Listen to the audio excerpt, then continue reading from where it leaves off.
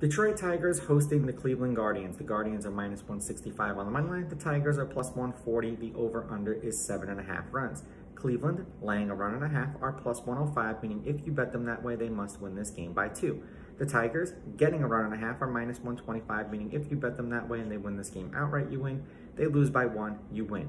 Bieber has pitched twice against the Tigers this year. Seven innings, three runs, two earned. They lost four to two. Eight innings, one run, one earned. They won eight to one.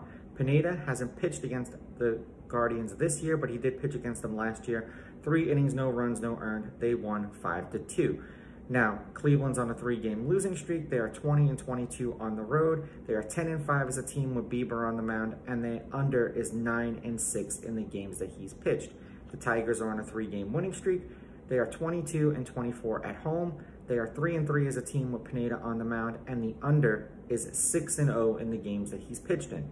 The Tigers are on a four game winning streak against Cleveland. The home team is on a four game winning streak. The underdog, getting a run and a half, is six and four in their last 10. The under is five, four, and one in their last 10 games. The over under at seven and a half is five and five. The home team is seven and three.